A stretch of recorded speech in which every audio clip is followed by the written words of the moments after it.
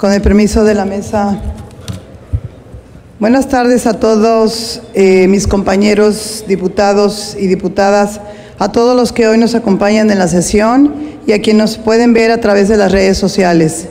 Con el permiso de la mesa directiva, me permito hacer un breve resumen de la iniciativa que hoy presentamos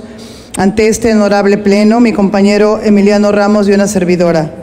Desde el año de 1998 se expidió en el Estado, la, en el estado la Ley de Asistencia Social para el Estado de Quintana, Quintana Roo con el objeto de mejorar y modificar las circunstancias que impidan al individuo su desarrollo integral, así como la protección física, mental y social de personas en estado de riesgo, desprotección o desventaja física o mental y, de ser posible, procurar su reintegración al seno familiar, laboral o social. Sin embargo, de manera lamentable, el número de ciudadanos que hoy se encuentran en situación vulnerable, con situación económica precaria y con problemas oncológicos ha incrementado,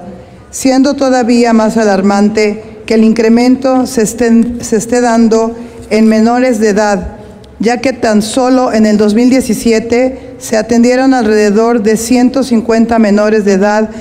en el Hospital General de Chetumal, dejando en un claro estado de indefensión a todas las personas que sufren este padecimiento. Es por este motivo que nos permitimos hacer una modificación para que se contemple dentro del catálogo de servicios de salud de la Ley de Asistencia Social del Estado de Quintana Roo los servicios relacionados a la atención de los padecimientos oncológicos y que puedan ser cubiertos por el Estado. Debido a lo anterior,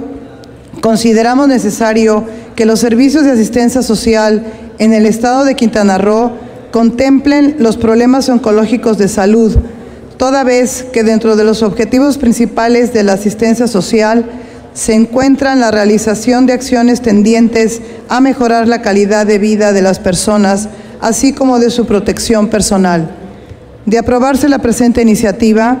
permitirá a la asistencia social intervenir de manera directa en los procesos de curación de las personas con estos padecimientos, así como concretar la aplicación de los recursos que hayan sido gestionados para aquellas personas que sufran problemas oncológicos de salud y no puedan valerse por sí mismas o que tenga una condición económica desventajosa.